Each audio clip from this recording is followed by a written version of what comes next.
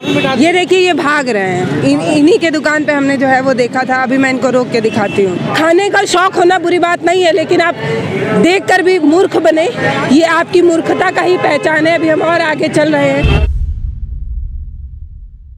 नमस्कार दोस्तों, मैं हूँ पल्लवी राय और आप देख रहे हैं भारत एक नई सोच। दोस्तों, जागो ग्राहक, जागो। ये ये लाइन आपने बहुत सुनी होगी। आपने शायद इस लाइन को सुनकर ये सोचा होगा कि मैं एक जागरूक ग्राहक हूँ, लेकिन ऐसा हर बार नहीं होता। हर बार आपके सामने आपको उल्लू बना दिया जाता है या आपके आँखों के सामने आपको चकमा दिया जाता है। वो कैसे होता है, ये मैं आपको दिखाती हूँ। और मैं ये भी बताती हूँ कि जब कंपनियाँ आपको ठगने की कोशिश करें तो आप शिकायत कर सकते हैं, लेकिन जब कंपनियों से कोई माल निकल आता है और वो रोडों पर आ जाता है, उसके बाद उससे किस तरह से ग्राहकों को ठगने की कोशिश की जाती है, मैं आपको दिखाती हूँ। आज आपको एक आइसक्रीम के ठेले पे ले जा रही हूँ, जहाँ ऊपर लिखा भी हुआ है जागो ग्राहक जागो। तो आज हम आपको एक पार्ट भी पढ़ाने की कोशिश करेंगे। आइसक्रीम पार्लर है।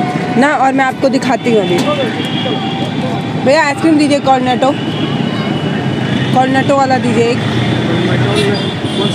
कोई भी दीजिए। कितने का है ये? कॉर्नेटो दिखाइए। ऐसे वाला कौन- वाला कौन वाला? अच्छा देखा। कितने का है?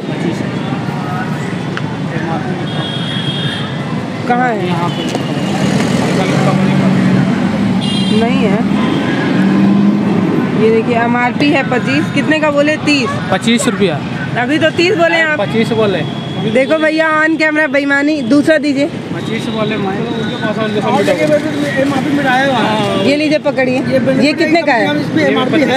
ये लीजिए, पकड़िए। अभी मैं आपको और दिखाती हूँ। ये देखिए, ये भाग रहे हैं। इन, इन्हीं के दुकान पे हमने जो है वो देखा था। अभी मैं इनको रोक के दिखाती हूँ। आइए आइए। इन्होंने अपने पार्लर के अंदर जितनी भी आइसक्रीम रखी है, सबका इन्होंने एमआरपी भी मिटा दिया है और एक्सपायरी डेट भी इन्होंने मिटा दिया है। और ये अमूल का पार्लर ये चला रहे हैं और मैं आपको बताना चाहती हूँ कि आपको जो दिखाइए, आइसक्रीम दीजिए। है, दीजिए भैया। मैं खोलूँगी, फिर बेवजह ही। खोलिए। खोलिए, मैं कह रही हूँ ना। खोलिए। आइसक्रीम दीजिए। कॉर्नेटो वाला निकालिए। खत्म हो गया। खोलिए भैया मज़ाक मत कीजिए खोलिए।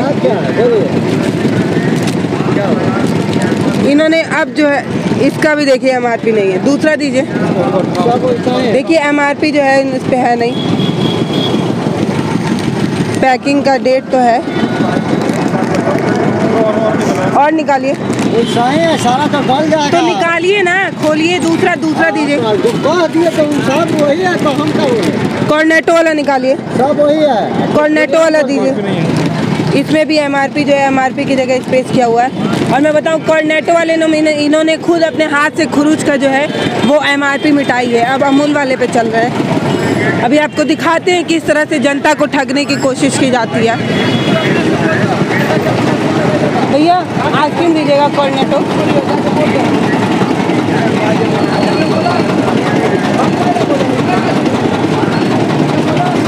ये देखिए।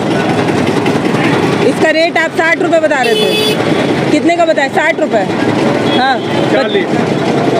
जब पहली बार पूछे तब साठ बोले थे कि पचास। जितना भी इन्होंने बताया लेकिन यहाँ पे जो है एमआरपी नहीं है। दूसरा दीजिएगा भैया। दूसरा छोटा वाला है इस पे है मिटा हुआ है कहाँ है है है अरे सामने दिख है यार हाँ ये देखिए आर एस करके और यहाँ पे इन्होंने एमआरपी मिटा दिया है। सब मिटाया हुआ रहता है हम लोग खुल के कह रहे हैं। हाँ कहाँ मिटाया रहता है? सब रेट मिटाया हुआ रहता है। लोग खरीद के लाते हैं तब भी मिटाया रहता है। हाँ? आप लोग गाड़ी लगा हुआ अमूल का लगा हुआ है वो देख लीजिए सैकड़ों सब में चेक कर लीजिए। कंपनी से आपको एमआरपी लिखा हुआ नहीं मिलता है। कंपनी से आपको एमआरपी लिखा हुआ नहीं मिलता है। कंपनी से आपको एमआरपी लिखा हुआ नहीं मिलता है। मिलता है। हाँ तो कैसे मिट जाता है? बेकारते हैं हम लोग पाँच रुपया कमाने के लिए। आप लोग खुद मिटाते हैं।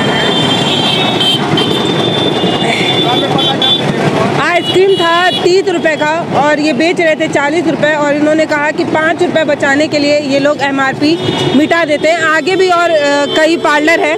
हम लोग दिखाने की कोशिश करेंगे और आपको ये भी बताएँगे कि कंपनियाँ एमआरपी लिख कर दे देती हैं, लेकिन उस एमआरपी को मिटाकर पाँच दस रुपए कमाने के लिए, हम आपको उल्लू बनाने के लिए कैसे ये लोग इनलीगल काम करते हैं। मेरे को प्रॉब्लम नहीं है, आप पाँच रुपये दस रुपये ले लीजिए, मांग के ले लीजिए, लेकिन जब आप एम मिटा कर जनता को मूर्ख बनाने की कोशिश करते हैं, तभी हमें मजबूर होकर कहना पड़ता है कि हम मूर्ख नहीं हैं, हम जागरूक हैं। और मैं भी कहूँगी, ये आपकी नैतिक ज़िम्मेदारी बनती है कि आप कोई भी चीज़ खरीदें। तो एक बार उसका एमआरपी और एक्सपायरी डेट ज़रूर देखें। खाने का शौक होना बुरी बात नहीं है, लेकिन आप देख कर भी मूर्ख बने। ये आपकी मूर्खता का ही पहचान है, अभी हम और आगे चल रहे हैं। आपको दिखाएँगे कि सिर्फ़ एक ठेले की बात नहीं है। अब देखिए मैं अमूल के एक और पार्लर पे पहुँच रही हूँ और क्रीमवेल भी है वहाँ भी दिखाती हूँ। कॉर्नेटो दीजिएगा एक।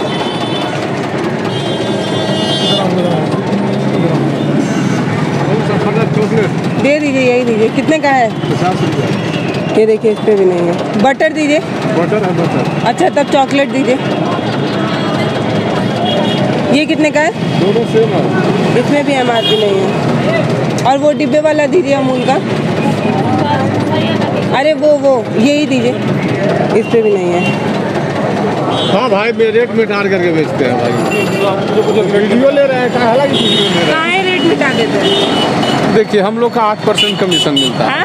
आठ परसेंट कमीशन मिलता है दस परसेंट ठीक है? तो दस परसेंट में हम सौ दो दो हज़ार के सेल करते हैं तो दो सौ रुपया मेरा होता है। दो सौ रुपया में क्या मेरा बाल बचत ऊपर वस्ती चला जाएगा बताइए।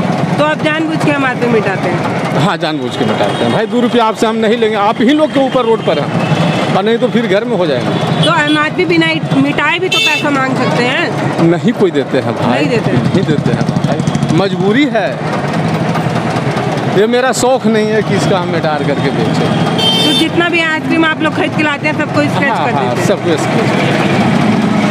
यहाँ पे क्रीमबेल का भी पार्लर रखा था जब हम यहाँ पर आए हैं। धीरे से वो चले गए यहाँ से।